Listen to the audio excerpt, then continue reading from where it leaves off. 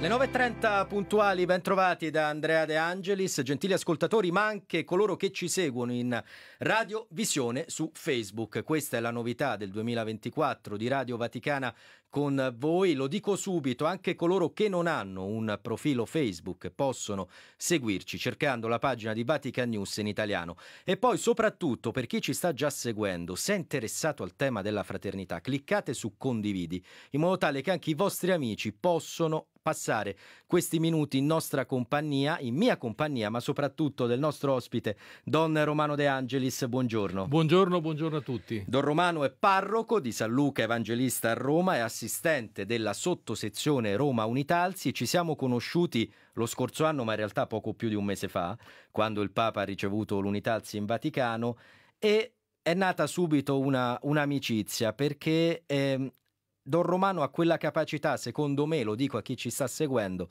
di parlare del bene in modo fattivo, di dimostrare come non bastano le parole, servono le parole per muovere le anime, ma servono anche e soprattutto le, le azioni. È un po' questo anche l'Unitalsi, Don Romano. Sì, l'Unitalsi è farsi compagni di viaggio, compagni di strada, a partire dai più deboli, quelli che nel mondo sono scartati per diversi motivi di abilità, eh, per noi sono gli amici delle prime file, in modo fattivo.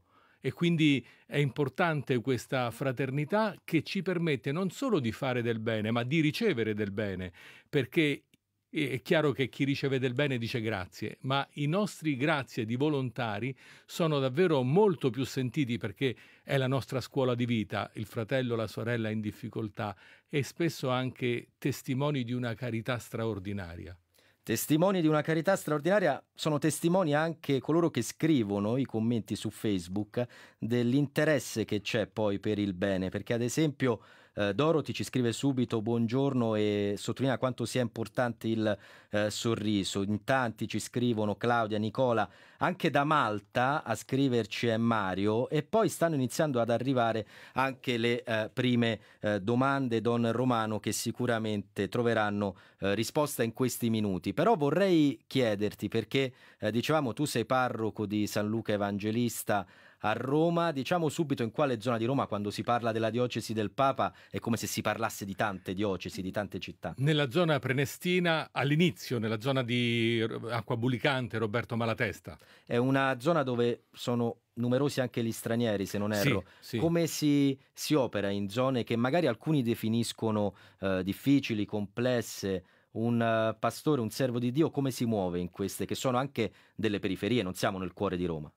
Certamente. Allora, l'uomo è uomo a partire eh, dalla sua umanità, non dal colore della pelle o dalla lingua che parla, e quindi i doni soprattutto e anche le problematiche non sono mai relegabili a un'appartenenza sociale o nazionale, sono dell'umanità in generale. Quindi eh, i nostri fratelli stranieri sono eh, invece davvero fratelli perché eh, cominciamo a pensare che loro fanno dei lavori umili che noi facciamo fatica a fare e però sono lavori preziosi.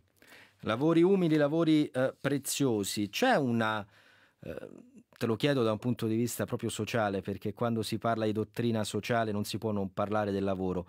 C'è la consapevolezza che ogni lavoro ha una sua dignità o ancora tendiamo a distinguere questa e quella professione sbagliando magari? Purtroppo non c'è questa consapevolezza.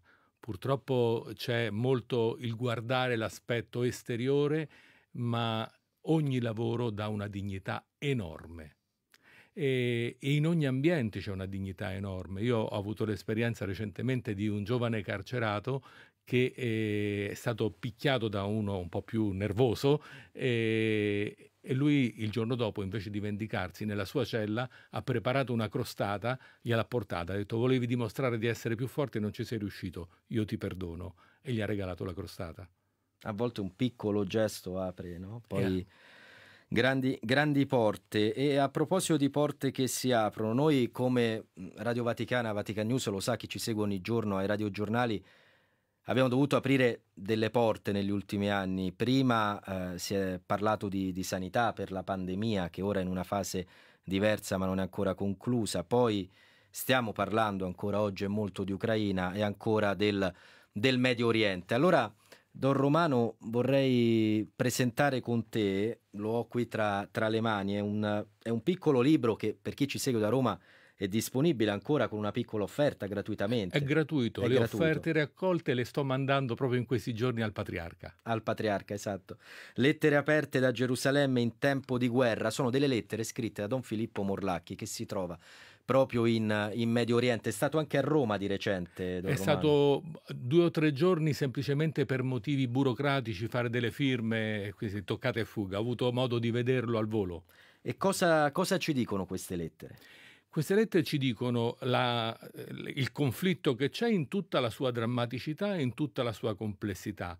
Don Filippo dà una lettura biblica del conflitto, che poi è una lettura biblica dei conflitti che sono anche nei nostri cuori, nelle nostre famiglie e nei nostri ambienti, per poter vedere quali sono i punti di forza di ogni parte e mettersi sempre, non tanto fare come le squadre e si tifa per uno o per l'altro, sempre dalla parte del più debole. Quello nell'ultima lettera lo specifica molto, Don Filippo, eh, saper fare, eh, essere vicino a chi in questo momento sta male, sta peggio, indipendentemente dalle valutazioni.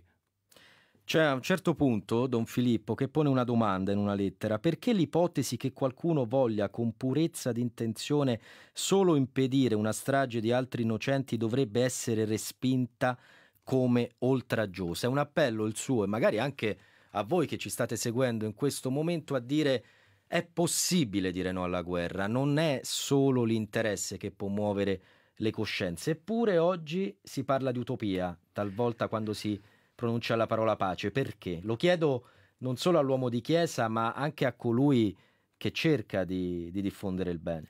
Ci sono due grandi tentazioni eh, che sembrano abbastanza nascoste, ma che in realtà muovono tutto e il Papa spesso le mette in, in, eh, in risalto. La ricerca del potere e del denaro. Allora, di fronte alla possibilità di crescere nel potere e di avere più denaro, non si guarda in faccia a nessuno e quindi è un'utopia pensare a questo. Solo quando si riesce a scoprire che il potere e il denaro non danno la gioia, sono un po' come la droga, ci vogliono sempre dosi maggiori e si sta sempre peggio, ti mangiano la vita. Se uno scopre questo cambia tutto. E quindi scoprirlo e poi un po' come si fa anche su Facebook, condividerlo. Condividerlo. Perché tenerlo per sé ha poco senso. Sì, eh, ci sono esperienze belle, noi sottolineiamo anche qui sempre il negativo. Nella Chiesa c'è un fermento di vita, un mondo che nasce. In questi giorni stiamo facendo la riammissione alla comunione ecclesiale di un giovane docente che aveva nel 2015 chiesto lo sbattezzo. Nello stesso tempo un giornalista, un editore non battezzato si è avvicinato e con un entusiasmo di bambino eh, sta facendo il suo percorso catecumenale per poter ricevere il battesimo e mi diceva quanto è stato importante nel, durante la novena d'avvento dedicare al mattino, veniva in parrocchia, due ore di preghiera, voi siete nel mondo dell'editoria, del giornalismo, sapete come il tempo è veloce, due ore con il telefono spento dedicate a Dio. Cioè, iniziavo la giornata con una pace straordinaria che eh, mi faceva eh, lavorare meglio e di più durante tutto il giorno. Invece lo chiedo al parroco e magari anche se ci sono dei piccoli all'ascolto in questo momento e in radiovisione, vi ricordo siamo in diretta Facebook, potete seguirci, potete se vi piace questa trasmissione condividere anche sulla vostra pagina Facebook la diretta in modo da farla conoscere anche ai vostri amici. Dicevo, la parola fraternità oggi è protagonista, ma come si spiega questa parola, il significato a un bambino e più piccoli? Cos'è la fraternità? La fraternità è quello che loro sperimentano nell'amico del cuore, nell'amichetto o nell'amichetta a cui vogliono stare sempre vicini. È una forma di sicurezza, non è semplicemente un impegno e una fatica. Io voglio stare, il bambino vuole stare vicino all'amichetto perché gli dà sicurezza, fa fatica magari eh, anche quando si fanno i gruppi di catechismo, tendono a stare insieme. Allora la fraternità è forza, la fraternità è vita, la fraternità è gioia certamente scomoda perché l'amore vero è un amore scomodo, perché significa far spazio a qualcuno per poter condividere, ma questa scomodità è una scomodità feconda perché è uno spazio vitale, eh, si condivide non per fare per, per, rinunciare, ma la condivisione moltiplica, è un po' il miracolo di Gesù, la condivisione dei pani e dei pesci, eh, che poi ha causato la moltiplicazione dei pani e dei pesci. Prima di salutarci, Don Romano, ancora due minuti, vorrei tornare sull'Unitalzi perché sappiamo che tra chi ci ascolta e chi ci vede ci sono anche tante persone che vivono un disagio fisico, psichico. Cosa vogliamo dire loro all'inizio di questo nuovo anno? Io vorrei dire a tutte le persone ammalate grazie per la vostra testimonianza, per il vostro affetto. Voi siete il motivo e l'onore della nostra associazione e a tutti i volontari coraggio e lavoriamo in umiltà come ci insegna Bernardetta Lourdes. Dopo aver fatto il mio servizio vado dietro la porta come la scopa e a tutti coloro che sono lontani, ecco, l'Unitalsi è nata grazie alla rabbia di un lontano portata a Lourdes. Venite a Lourdes anche arrabbiati per poter ritrovare lì una mamma che è capace di mettere nel cuore la gioia e mettere dei fratelli accanto. E infine mi piace chiudere con chi ci sta seguendo, con voi che siete in diretta con noi a Radio Vaticana, con voi su Facebook, tantissimi messaggi anche dalla parrocchia Sant'Arcisio a Quarto Miglio. Ah. E, ed è bello perché a volte c'è anche un po' di sana rivalità tra quartieri a Roma, non tra parrocchie. In questo caso Quarto Miglio è vicino a, alla tua zona, a Largo Preneste, a scrivere tra l'altro, non so se è il parroco o chi gestisce questa pagina, Don Romano può parlare di fraternità perché vive la fraternità.